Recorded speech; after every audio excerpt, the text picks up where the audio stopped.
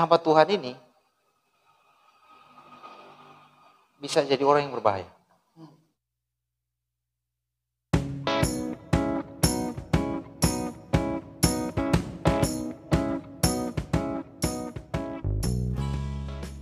Halo, salam sejahtera bersama saya Pendeta Henry Frengki dalam gereja.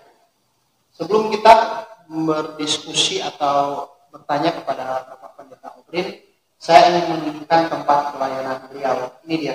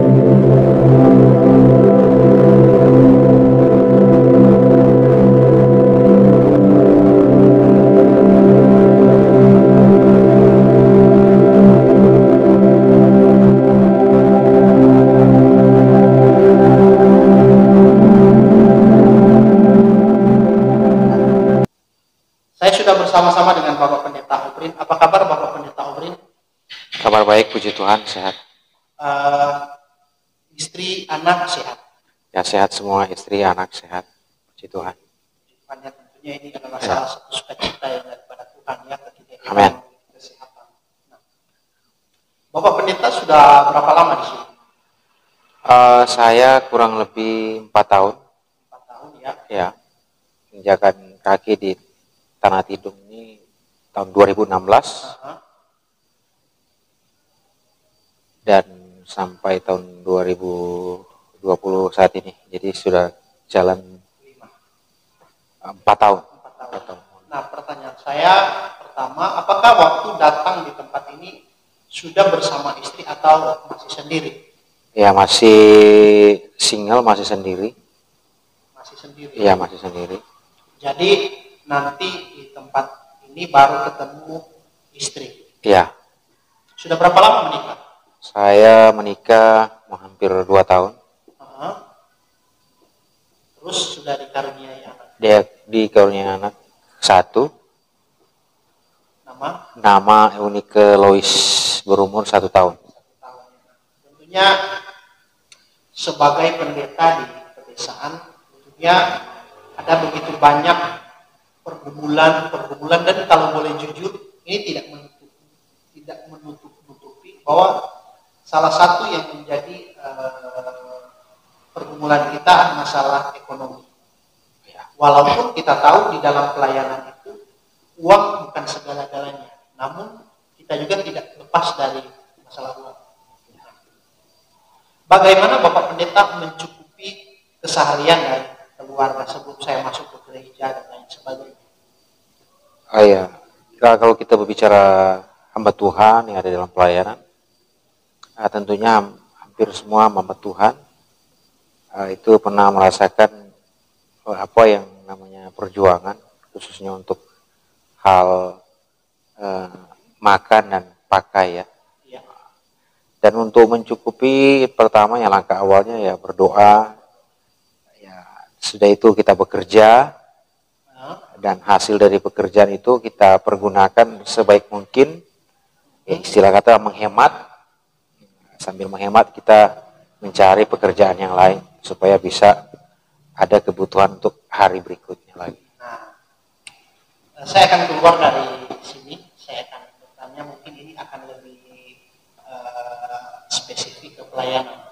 Ya, Waktu datang ke tempat ini saya mendengar Bapak Pendeta awal mula pelayanan ada di sebuah kota. Namanya kota apa itu? eh, tepatnya di satu kecamatan namanya Kecamatan Losari, Losari. cukup ramai dan Jawa Barat ya. Jawa Barat berujung dia paling ujung timur Jawa Barat. Sudah berbatasan dengan Jawa Tengah. Nah, bagaimana ceritanya Bapak Pendeta dari kota kok bisa-bisa pelayanan di pedalaman seperti ini? Ya itu kalau saya jelaskannya itulah panggilan Tuhan. Uh, tetapi tentunya itu satu hal yang pertama saya sudah gumuli ya. lama dan tentunya saya berdoa kepada Tuhan karena saya awalnya tempat saya pelayanan di Losari itu bisa dibilang tempat yang ramai, semua fasilitas ada, artinya kita tercukupi lah. Nah, dan saya ketika saya mau melangkah datang ke Kalimantan ini, saya berdoa supaya Tuhan kasih kekuatan sama saya. Karena sebelumnya saya sudah pernah ada di Kalimantan juga, ikut pendidikan. Dan saya tahu medan Kalimantan itu seperti apa. Tapi berbeda ya, dulu Kalimantan Barat, ini Kalimantan Utara. Iya, Kalimantan Barat. Tapi beda-beda tipis. Iya, iya, beda tipis lah. ya. Nah, ini satu hal yang menarik menurut saya bahwa pendeta kenapa dari tempat atau boleh dikatakan keramaiannya cukup asik. Ya. Istilahnya kita bisa tergiur dengan keramaian. Bisanya dari keramaian Bapak Pendeta datang di uh, notabene pedalaman. Nah, kan ini unik dan lucu menurut saya. Kan saya sudah jalan ke tempat Pak Pendeta. Ya. Ada kalanya rumah di sini. Untuk mendap untuk ketemu rumah satunya bisa 500 meter. Betul ya. kan? Ya, seperti itu. Ada kalanya dekat tapi setelah itu mungkin butuh satu kilo baru ketemu rumah. Ya. Nah, dan di situ masih mau dihitung jumlah rumahnya, ya. bisa dihitung dengan 10 jari. Iya. Bagaimana bisa bertahan di tempat seperti itu? Uh, itulah saya melihat, saya sambil saya berdoa, uh-huh. saya juga belajar tentang makna dari sebuah panggilan pelayanan. Karena kalau kita berbicara pelayanan itu tidak harus uh, ramai dan tujuan juga kita pelayanan bukan karena harta, bukan karena uh, kekayaan, tapi saya kira memang murni untuk pelayanan kepada jiwa-jiwa. Berbicara murni tentunya kita juga belum bisa pastikan apakah Bapak Pendeta itu murni seperti saya. Nah, bagaimana untuk melihat murninya kita di dalam pelayanan? Uh, murninya di dalam pelayanan begini, kita itu tidak uh, menghitung untung ruginya di pelayanan. Apakah banyak persembahan atau se atau sedikit. Nah, jadi kita tidak melihat dari jumlahnya. Mau banyak mau sedikit tetap kita harus bertahan di pelayanan. Nah, sekarang nah, sebelum Bapak Pendeta lanjut satu pertanyaan dulu saya sisipkan. Hmm. Pernah tidak dalam ibadah tidak ada persembahan? Uh, iya. Pernah. Pernah dan ada banyak kali. Banyak kali Uh, bahkan di uh, pandemi ini saya tidak menjalankan persembahan. Untuk jemaat? Ya, untuk jemaat. Seharusnya itu di gereja-gereja mana pun kewajiban. Iya. Apa alasan bahwa pendeta? Saya berpikir begini, uh, ekonomi jemaat itu uh, belum terlalu apa mapan. mapan dan saya tidak mau memaksa mereka. Uh, saya ingin ada satu kerinduan dari hati mereka sehingga mereka benar-benar memberi bukan karena paksa tapi karena dorongan eh, kesadaran oleh karena tersentuh oleh pelayanan kami melalui pemberitaan firman Tuhan. Tadi saya sempat ibadah bersama Bapak Pendeta, tapi sayang video waktu saya khotbah tidak sempat diambil dokumentasikan. Iya, iya. Saya, saya lihat ibadahnya hanya satu keluarga suami istri dan tiga anak atau dua itu ya? Uh, tiga anak. Tiga. Apakah setiap hari ini ibadahnya seperti itu? Iya, uh, semenjak musim pandemi ini kami membagi dua kali ibadah. Dan Bapak mungkin sudah lihat, kalau di seberang kiri jalan itu, yang satu keluarga itu, sedangkan di samping kanan jalan itu, ada tiga keluarga di sana. Tapi karena ini musim peladang, mereka ada di ladang, jadi sering kali hari Minggu mereka tidak turun ibadah. Jadi ya. ini suka duka seorang pendeta. Ya inilah suka duka kami dalam pengembalaan. Uh, Itu menjadi pergumulan kami lah. Artinya mungkin di sini lebih kita membutuhkan uh, pelajaran-pelajaran rohani supaya mereka lebih lebih apa lebih giat beribadah dan hmm. tidak fokus di berladang. Ini masalahnya ini hari Minggu. Iya. Kita ini hanya satu bulan eh satu minggu satu kali ibadat bisa-bisanya mereka hanya pergi belajar. Apakah ini memang sudah menjadi sudah mereka? Yang saya lihat seperti itu. Mereka sudah membudaya beberapa puluh tahun dari nenek moyang mereka. Dan saya melihat ketika hari Minggu mereka sepertinya biasa-biasa saja. Ketemu biasa. Biasa, Biasa. ya. Jadi ada tidak ada rasa bagaimana gitu. Malu, nggak enak ya. Iya. Tetapi itu menjadi satu tantangan bagi kami hamba Tuhan yang mengembalakan jemaat. Saya terus berdoa supaya pola pikir mereka itu berubah. Gitu. Supaya keti- dan eh, sering dalam khotbah saya saya bilang sama mereka bahwa tidak akan pernah kita rasa rugi kalau kita menyempatkan satu hari itu hari Minggu untuk kita beribadah. Iya. Nah artinya ini berbicara mendarah daging kita semua sudah tahu mengubah itu agak mustahil, tetapi tidak bagi Tuhan sebenarnya. Iya. Rasa rohaninya Iya. seperti itu. Iya. Nah, oke Bapak Pendeta di dalam Bapak Pendeta pelayanan, apakah Bapak Pendeta seperti eh, rumah fasilitas yang saya sudah dokumentasikan di awal, apakah itu pemberian dari organisasi atau hasil jeri lelah kita sendiri? Hmm, ini saya cerita awalnya ya dari awal. Silakan. Jadi semenjak saya pelayanan pengerja di Losari itu berapa tahun? Ah, singkat cerita saya pamit, saya kasih tahu sama gembalanya bahwa saya akan ke Kalimantan merintis mengembalakan satu sidang jemaat. Dan akhirnya saya ah, disuruh keliling ke rumah-rumah jemaat. Eh, oh, ke di rumah jemaat Iya, Losari ya. ya, rumah jemaat di Losari sana. Terus Dan terus mereka memberikan ya amplop ya berkat lah. Dan itu sebagai tanda syukur mereka atau ucapan terima kasih mereka eh, kepada saya selama saya melayani di sana. Ya. Nah, jadi hasil dari eh, rumah yang menjadi tempat ibadah sekarang itu murni bukan hasil dari pemberian atau fasilitas dari organisasi, melainkan berkat yang diberikan jemaat-jemaat yang di Losari. Iya. Nah, Iya. begitu ceritanya. Iya. Itu kan pembelian tanah. Iya. Ya. Awalnya saya beli tanah. Bagaimana dengan rumah?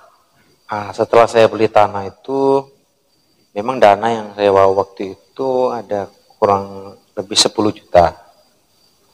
Nah, saya beli tanah 10 kali 30. Eh awalnya 10 eh 15 kali 30. Nah, Nah, itu seharga 5 juta. masih sangat murah ya. Yang masih sangat murah pada waktu itu. Yang sisanya itu saya beli material papan, balok, meskipun belum rampung semuanya. 10 juta itu cukup. Ah, cukup nak cukup ya. Eh, artinya saya harus bekerja lagi untuk dapatkan uang untuk merampungkan semua material untuk saya bisa bangun rumah. Jadi Bapak Pendeta kerja. Iya kami, saya kerja. Tentunya seperti pertanyaan-pertanyaan saya kepada pendeta-pendeta lain, apa tidak malu sebagai pendeta yang seharusnya kita berdasi, bahkan harus menjaga image dan wibawa kita. Apa tidak malu ketemu jemaat, bahkan orang-orang penting sekalipun. Eh, saya saya tidak rasa malu. Iya, tidak rasa malu karena begini.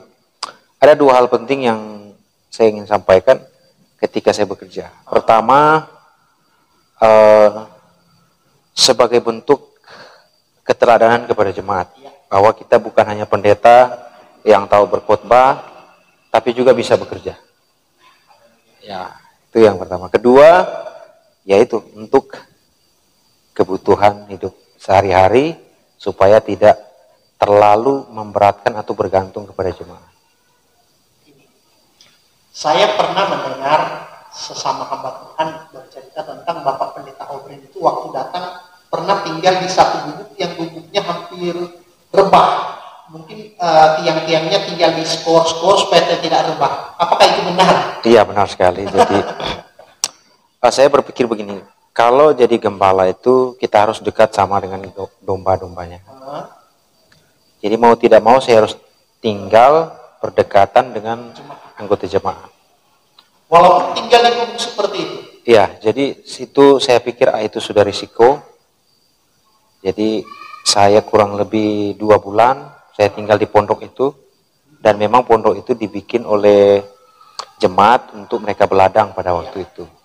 Waktu itu tidak takut resiko-resiko yang kemungkinan terjadi rebah atau gimana pas uh, buang eh selesai.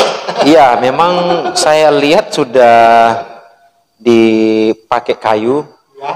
untuk menahan dia. Memang tinggal berapa kayu, tinggal kayu itu yang menahan. Kalau kayu itu dicabut ya roboh sudah. Oh. Ya. Tapi puji Tuhan aman. Tapi puji Tuhan selama saya di situ aman. sampai rumah itu pondok itu pun dibongkar enggak aman-aman saja. Tentunya ini adalah satu pengalaman yang menurut saya agak lucu, tetapi inilah seorang seorang pendeta yang motivasinya memang untuk pelayanan mencari jiwa untuk Tuhan. Iya begitu. Bahwa pendeta Obrin saya akan bertanya hal serius. Ini menyangkut organisasi. Iya. Bukankah di setiap organisasi ada jaminan untuk pendeta-pendeta seperti fasilitas rumah, tanah, hmm bahkan mungkin motor dan fasilitas-fasilitas lain. Ya. Bahkan gaji. Nah, karena di lain kesempatan ada yang mengaku-mengaku bahwa dia dulu Kristen sempat digaji ada 40 juta bahkan ratusan ratusan juta. Ya. Nah, apa bagaimana tanggapan dari uh, yaitu setiap organisasi itu kan punya ADART anggaran ya rumah tangga ya gereja kami belum memperlakukan itu. Ya. Termasuk fasilitas. Termasuk fasilitas juga. Fasilitas ya. seperti rumah dan lain sebagainya. Iya. Jadi murni bahwa apa yang kita lakukan benar-benar hasil dari yang kita lakukan. Iya. Begini Bapak Soalnya seperti ini mungkin ada orang yang akan yang tidak percaya ya. Iya. Tetapi ini memang real, memang nyata. Apakah organisasi tidak pernah memberi sedikit pun, misalnya tunjangan untuk setahun, ataupun per bulan, ataupun uh, selanjutnya? Uh, kalau saya waktu itu sempat mendapatkan tunjangan, uh, itu itu berbeda. Kalau dia sudah menikah, kira-kira 500 ribu per bulan Ah, kalau yang belum menikah satu bulan tuh yang bujang lah ya, tiga ratus kalau tidak salah, selama satu tahun. Selama satu tahun. Jadi lewat lepas dari setahun sudah tidak lagi. Tidak lagi. Ya. Jadi lepas dari setahun artinya kita harus berusaha sendiri. Iya. Nah begini, ini kan e, tanah hasil dari usaha kita. Ya. bangunan hasil dari usaha kita terus bagaimana di dalam bangun gereja? Apakah itu nama kita atau nama organisasi? Nah, itu sebabnya eh, saya berpikir-pikir ya berbijak lah. Artinya ketika saya bangun itu tentunya lahan bangunan gereja itu saya nantinya kasih ke gereja tetapi sisanya yang di belakang itu untuk pribadi saya pikir ini satu hal yang bijak kenapa ya.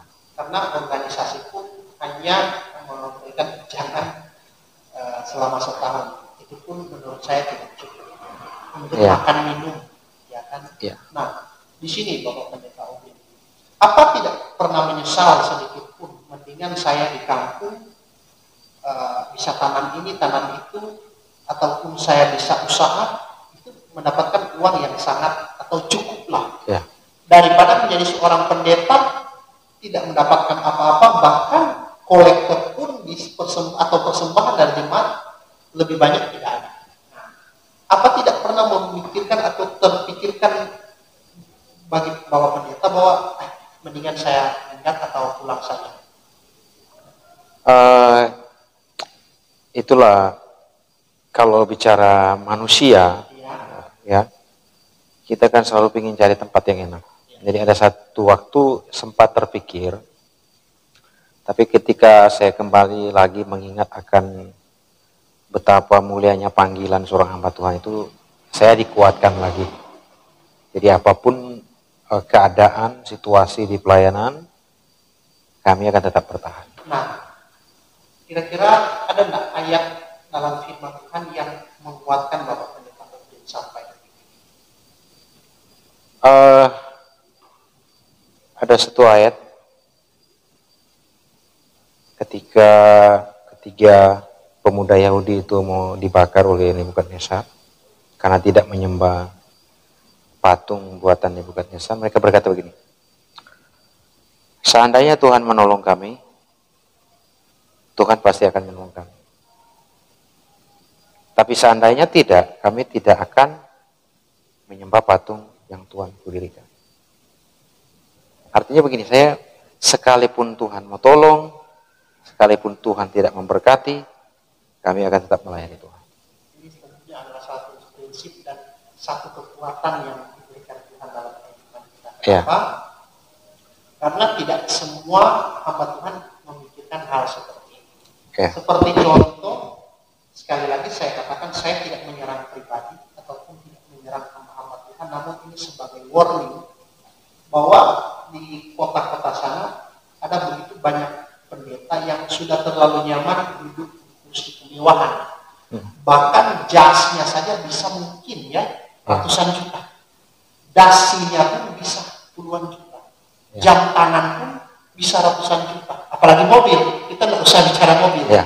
Sedangkan kita di pedesaan ini untuk membeli sepatu pun penunjang ibadah yang 150 ribu, kita berpikir dua kali. Ini uh, bisa dipakai untuk kebutuhan sehari-hari, susu anak dan lain sebagainya.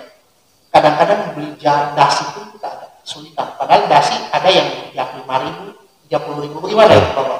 Nah, ini yang perlu kita eh, apa ya, yang tidak seharusnya terjadi di hamba Tuhan yang sudah sukses. Ya. Saya ingin sampaikan begini. Kalau ada hamba Tuhan, dia berjuang sendiri, Selama dia merintis tidak ada yang memperhatikan. Pokoknya dia berjuang sendirilah. Dan satu saat dia sukses, dia diberkati. Dan hamba Tuhan ini bisa jadi orang yang berbahaya. Hmm. Bahayanya di mana? Bahayanya begini, dia akan menjalankan sistem balas dendam. Ya. Dia akan berkata, ketika ada orang yang hamba Tuhan merintis yang membutuhkan bantuan, Pasti dia akan berkata, oh kami dulu. Kami dulu, betul. Ya. Itu saya uh. Nah ini yang perlu kita hindari. Ya. Makanya ada pemikir mengatakan seperti ini. Ada orang yang beribadah, tapi kelakuan setiap harinya di luar dari kebenaran firman Tuhan. Ya. Nah, tetapi ada juga orang yang tidak beribadah, tetapi tindakan dan perilakunya sesuai dengan firman Tuhan. Ini kan yeah. membingungkan. Artinya menurut kita begini, kita sederhanakan saja. Pendeta, pelayan altar, dan lain sebagainya jemaat yang datang setiap hari minggu, belum tentu kita mengerti maksud Tuhan barangkali ya. Yeah.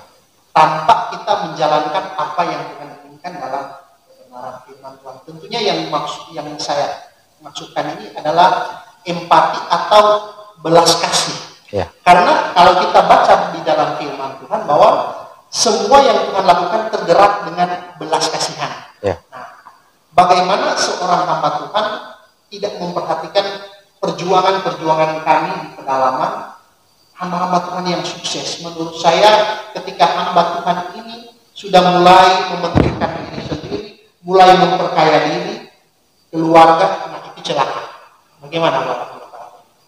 Ya, iya, saya kira cerita yang disampaikan oleh Tuhan Yesus tentang mengasihi itu orang Samaria yang baik hati itu kan kalau kita baca itu satu tamparan, buat kalau untuk kita sekarang ini ya iya. bagi hamba-hamba Tuhan, bagi orang rohaniawan karena ada tiga orang yang melewati orang yang sudah sekarat ini. Pertama seorang imam, lewat lagi Lewi, eh yang ketiga orang Samaria yang notabene jauh dari apa yang namanya penyembahan yang benar.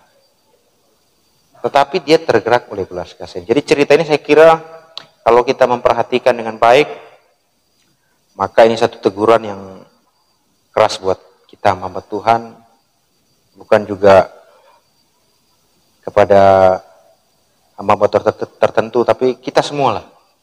Jadi begini Bapak saya akan kembali ke pelayanan Bapak Pendeta. Pelayanan yang uh, rumah sudah sekalian, sebenarnya begini ya, sahabat semua, kami tadi sudah sempat uh, buat video di rumah beliau, cuma pas mau dibuka, saya juga tidak sempat periksa ya Pendeta, ya. ternyata ada gangguan audio, makanya ini diulang ini di tempat lain. Nah, jadi Bapak Pendeta untuk tempat yang berapa ukuran berapa? Itu enam kali enam kali enam kali empat. Enam kali empat. Ya. Itu tergolong kecil. Ya kecil. Untuk tempat tinggal kita sudah melihat sekat ruangan tamu dan sekat kamar triplex. Ya. Kan? Nah, kira-kira Bapak Pendeta yang Bapak Pendeta Obrin butuhkan saat ini untuk menunjang pelayanan supaya jemaat itu lebih nyaman beribadah apa bisa disebutkan? Um, untuk sekarang ini saya tidak terlalu berlebihan ya. Saya sederhana saja. Saya berdoa dalam hati saya kepada Tuhan. Kami ingin membangun rumah tinggal sekaligus untuk tempat ibadah yang lebih besar lagi. Ya kira-kira ukuran uh, 8 kali 12. Jadi uh, supaya tempat ibadahnya sendiri dan rumah untuk kami tinggal juga sendiri ada. Kalau dikalkulasi di uang kan 8 kali 12 bangunan semi permanen habis berapa itu sudah selesai? Ada 50 juta lebih bang. Uh, kalau 50 juta itu kalau ukuran rata-rata ya seperti itu. Kalau kita hamba Tuhan kan pasti meminimalisir bahan-bahan yang tidak perlu kita beli. Dengan ada gotong royong. Ya dengan gotong royong sehingga tidak sampai segitu. Mudah-mudahan ada sahabat ya. semua ya. Mudah-mudahan ada sahabat yang mendengar dan bergerak. Tentunya pergumulan kita sama, yaitu supaya pekerjaan Tuhan makin uh, dilebarkan tentunya di Kalimantan. Bahwa pendeta kami akan menyerahkan bantuan mungkin berkat ini tidak begitu besar seperti yang Bapak Pendeta bayangkan, namun ini adalah pemberian yang tulus dari para sahabat atau maupun gereja. Uh, mohon diterima ini Bapak Pendeta Obrin. Uh, mudah-mudahan ini bermanfaat di dalam pelayanan ya. Ya, sangat sangat bermanfaat, Pak. Mungkin ada satu dua patah yang ingin diucapkan kepada sahabat-sahabat semua, silakan. Ya, baik puji Tuhan. Pertama-tama